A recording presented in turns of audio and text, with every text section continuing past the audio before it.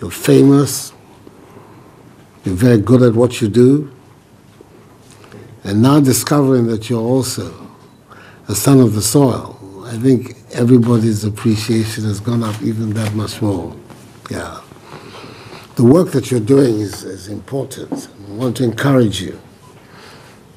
So many different avenues by which the society can be empowered and helped.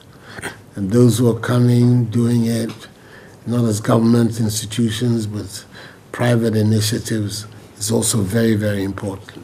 And we're doing everything possible to engage with all our people from all over the world.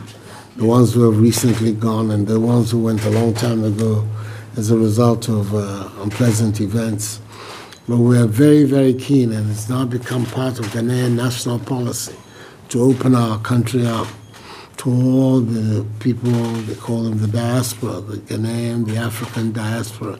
I think it's important, and that the synergy that can be created between you there and those of us here is something that can only benefit black people all over the world. And at the end of the day, uh, when this continent is strong, black people all over the world will be strong. So yes, it's, it's, it is. It's when Africa is strong, black people around the world will be strong. So it's important that we all collaborate and work together yeah. to see what we can do to make it happen.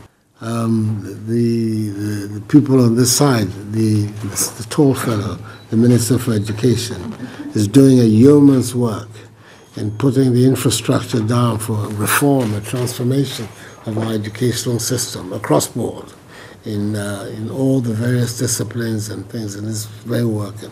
He's been joined by another very, very dynamic and creative young man in the sporting era. So it's, it's, all, it's all systems go. And uh, we have the support of people like you getting in with your input. It's all to the good. It's very good. So it's good of you to have come to see me. I appreciate it very much. Uh, yeah. I give you some examples of people who have preceded you who went the right way. Luis Figo, Ronaldo.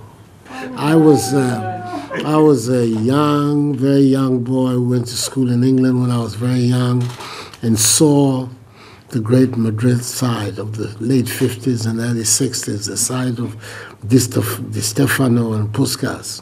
So from that time onwards, I've become a Real Madrid fanatic.